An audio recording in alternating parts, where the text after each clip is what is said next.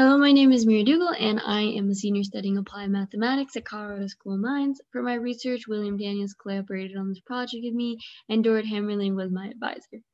Um, the title of our research project is Optimizing Genetic Algorithm Parameters for Atmospheric Carbon Monoxide. The main source of carbon monoxide in the southern hemisphere are large burn events. This makes CO a useful proxy for fires. Fires are influenced by the change in atmosphere and oceans, which can be measured by something called climate indices, which measure the variability in sea surface temperature and winds. Thus, the atmospheric carbon monoxide is modeled using climate indices as predictor variables. These models can help countries prepare for large burn events. So in figure one, we can see the seven different regions in the Southern Hemisphere that we're gonna create multiple linear regression models for, along with the average CO. And in plot B, we can see the four different climate indices that are shown, along with the standard deviation of carbon monoxide. So this is the multiple linear regression model that we use in our research, where CO of T is a carbon monoxide anomaly in a given response region at time C psi are the climate indices, and tau is the lag value for each index in month. So we have this lag value because our models are focused on prediction. Therefore, we want to use the current climate index values to predict future CO. So we have the R package, regClimateChem, that has three different variable selection algorithms to produce the multiple linear regression models. And these um, variable selection algorithms are the exhaustive method, which always finds the best possible model, but is most computationally expensive. Stepwise regression, which often fails to find the best possible model, but is computationally inexpensive. And the genetic algorithm, which is implemented as a possible middle ground between exhaustive and stepwise. So we are performing an optimization study on the genetic algorithm to find the best balance between runtime and accuracy. So on the left-hand side, this is the flow of the genetic algorithm. And we implemented the genetic algorithm in regClimateChem via the glmulti package and it is a stochastic variable selection technique that is based on probability and will potentially produce different results each time that you run it. So this algorithm converges to the best model by continuing to modify a population of models. And there are various parameters in glmulti that affect how this modification process occurs, and this is what we are doing our optimization study on. So we started our study with four covariate models, and here we can see the five different parameter values that we chose. I don't have time to get um, too in depth on what they individually do, but I can answer questions on that later. Um, you can see the default values for them in the middle column and the values that we study on the right hand side. So um, we started by varying each parameter um, while holding all the other parameters constant or fixed at their default values. Um, and then we would vary this singular parameter over the given array of values. Um, and so here we can see the x-axis shows the different parameter values um, for population size in this case, with the default value in bold.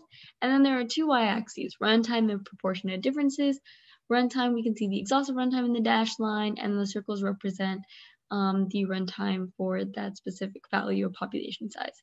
And then the proportion of differences is the number of models different from the exhaustive method over the total number of models. So our, our um, goal in this study is to choose the value that both minimizes the runtime and the proportion of differences.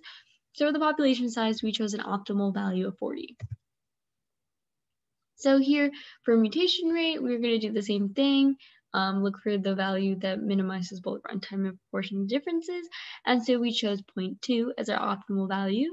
For sexual reproduction rate, we chose 0.001. And for immigration rate, we also chose 0.001. And for the consecutive size, we chose the optimal value of 2. So here we can see the optimized parameters that I had just mentioned.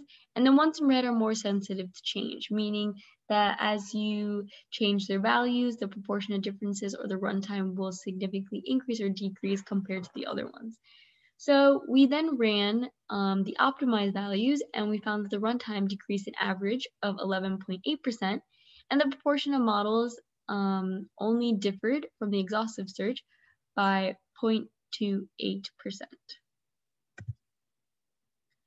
So we tested the same parameters on five covariate models now, and we wanted to test five covariate models because we wanted to see if our results will scale with the size of the model. So first we did the same thing like we did in the four covariate case. We varied parameters one at a time to estimate optimal range.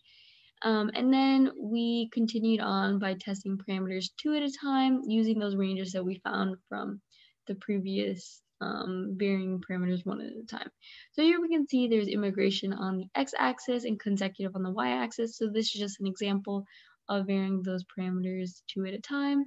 Um, where the top left, for example, we see there's a very high proportion of differences, but a very low um, runtime. And then the bottom right, we see very low portion differences and a high runtime.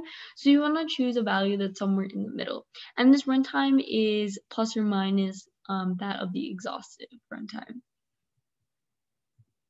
So we're still in the process of varying two parameters at a time for the five covariate case, um, but we have moved our study from my personal laptop to the HPC system called Cheyenne at the National Center for Atmospheric Research due to very long runtimes.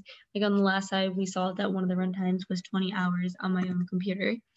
So we hope to come up with a parameter combination that makes the genetic algorithm fall between stepwise and exhaustive. So these are my references and thank you for listening.